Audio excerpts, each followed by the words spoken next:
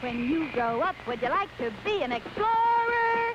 Everybody knows they eat Cheerios. Each day you'll get go power like an explorer if you know your route and eat Cheerios. You're gonna be strong and be a mountain climbing man with the pow pow power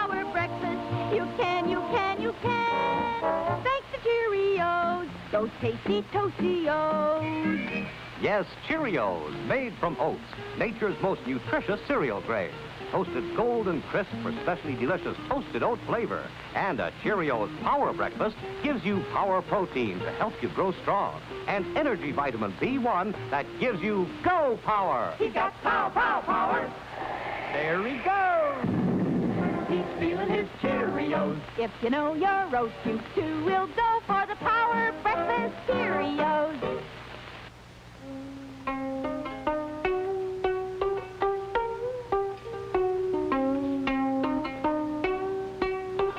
Well, we're listening to uh, a Korean 12-stringed instrument. I wouldn't begin to tell you the name of it in Korean, but Miss uh, Gia here would. What is the name of this? Kayagum. Kaya Kayagum. Kayagum. Yeah. Now, how old is this? I mean, not this particular instrument, but how old is this kind of instrument? Oh, this uh, the, uh, made by original for Korea, uh, Korean. Yes. About uh, uh, 2500 years old. 2,500 years ago. Yes. Wow. Or is it 2,500 years BC? Which is it? Uh, BC. Oh, 2,500 years BC. That makes it even older. That makes it 4,000 years old almost. That's long ago, long before there was the United States, as you know, long before there were even Western instruments uh, Yes. like, like nature.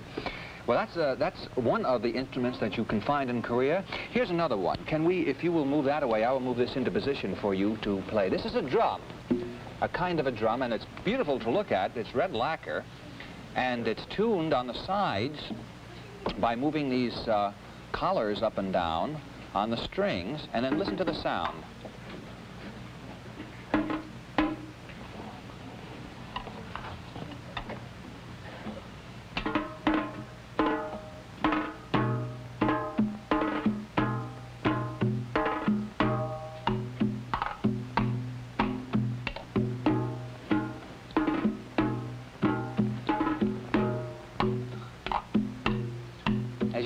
You can uh, you can get a lot of different sounds out of this yeah. drum. And is this used quite a bit in dances?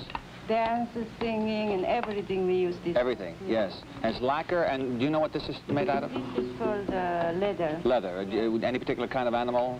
Uh, the cow. The cow. Yeah. Right. This is for sheep. Yeah. Uh, sheepskin on that side. Mm-hmm. Now, of course, uh, the dance is such an important part uh, of uh, music in Korea, and we have this large drum right here in the center, and uh, Gia's daughter is uh, standing right next to it, as a matter of fact, and it is used in a dance which was danced, um, it's a dance about monks in Korea, in a temple, monks and novices and uh, nuns, and uh, this dance is going to be danced by uh, Gia and her daughter, and Miss Kim and her daughter. Two on one side and two on the other. And as soon as Gia gets ready, I will, in the meantime, clear the area. And this is a dance that boys and girls, you will see, which is very unusual and not very often seen in this country. May I take this? I'll take it all the way off so nobody will do it. All righty. Here is the dance of the monks.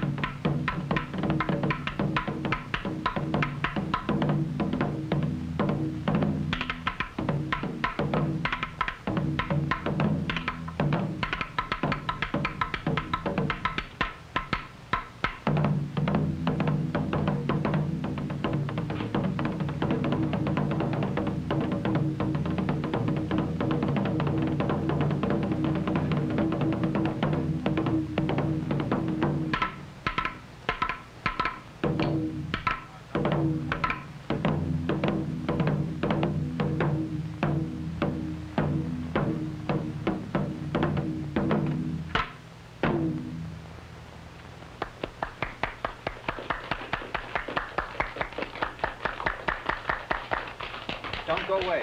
Come over here. Sit down. Come here. Sit down. Ah, Your mothers are getting ready for the masked dance.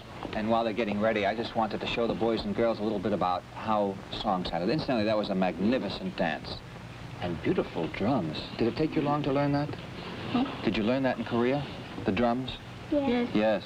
Did it take long? Long time? Yes, I can imagine so. Long time. A long time, Alan? Very long time, right.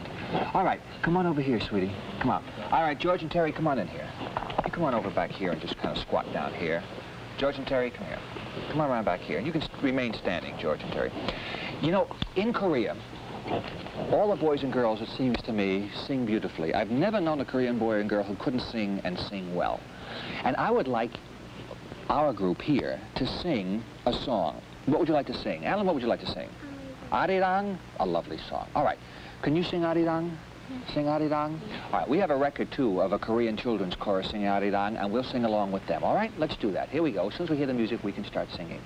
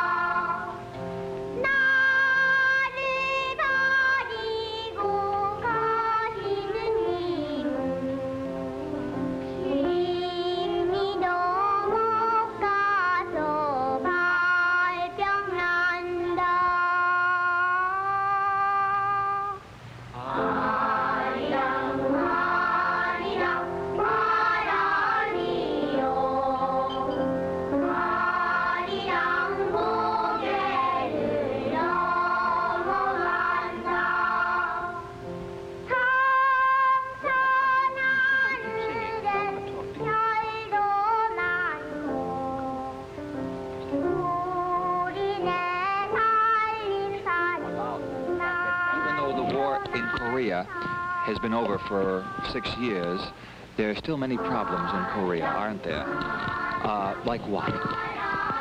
like poor people Poor people, yes. and many orphans, Orphans, yes. Boys and girls without parents. no food, No food, no clothes, no clothes. and And not enough to eat a lot of times, and not enough houses to live in. yes, And I can second that because, of course, I spent about a year in Korea, and I remember how very badly off some of the boys and girls were. I guess you're one of the lucky ones because you have beautiful clothes and your mother and father, but a lot of boys and girls in Korea still don't. They still need our help. The American Korean Foundation is probably the best way we know of to help. And as a matter of fact, it doesn't take very much. Just giving up a chocolate ice cream soda this week and sending the dime into the American Korean Foundation would buy maybe a week's supply of milk for a boy or girl in Korea. Isn't that right? Yes. And they do appreciate it and they do need it. So I'll tell you what.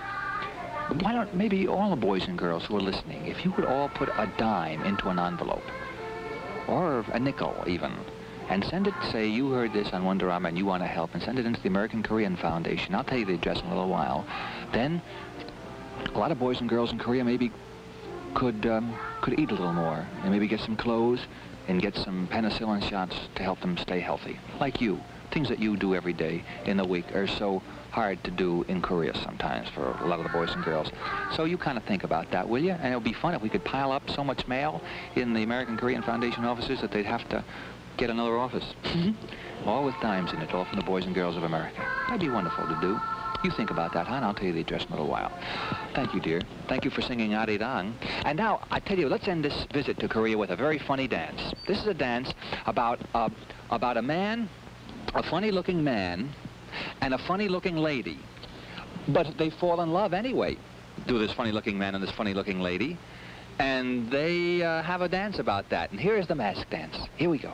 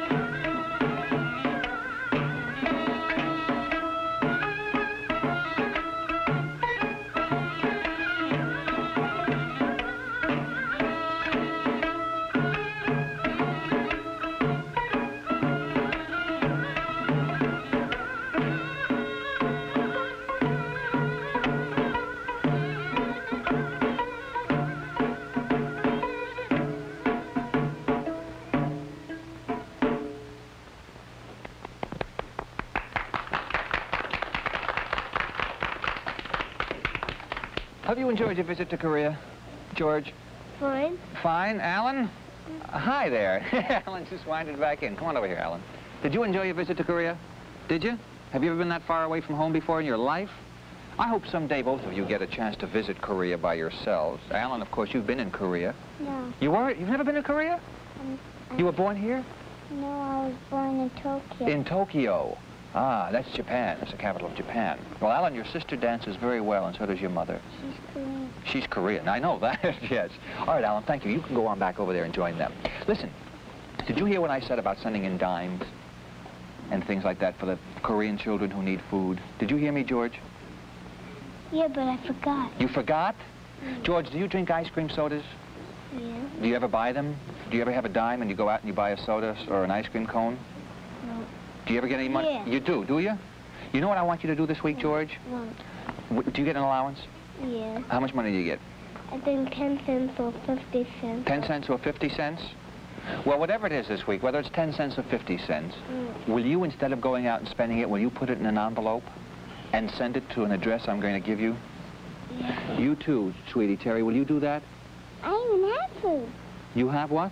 Food. You have food, but some boys and girls don't. You want to help them eat so that they don't, they're not hungry? All right. You want to send in some money? All right.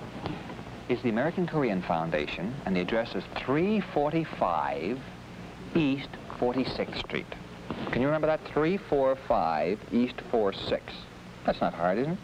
American Korean Foundation, 345 East 46th Street. I don't care what it is, whether it's a nickel or a dime or 50 cents. Let's swap them. Let's make a real kind of a, a mountain of mail for them to see tomorrow morning and Tuesday morning when they walk in so they can tell the boys and girls in Korea that the boys and girls who watch Wonderama really care. Will you do that? All right. Back from Korea. Back from Korea. Welcome back to the United States, George. Well, boy, did you have a good time? Boy, did we miss you. Really, we missed you. Did you know that? No. You didn't know we missed you? No. Oh, boy, did we miss you. And boy, you know, we missed you too. Did you, and did you have a good time? Good. Welcome home. Your mother's been wondering where you were. Uh, she's back now. She's back, Mrs. Dennison. Your, your child's back from Korea. And boy, it didn't cost you very much to go there, did it? No. Uh, they did a nice shoestring. Okay, we are going to go on now and have some more fun here with some animals and some games and everything. But don't you forget the boys and girls in Korea. Here's a cartoon called The Ding Dong Daddies.